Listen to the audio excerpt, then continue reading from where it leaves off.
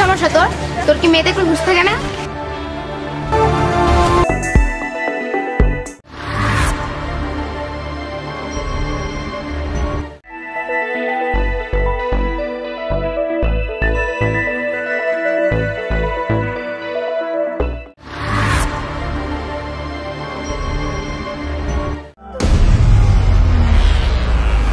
আপনি এখানে?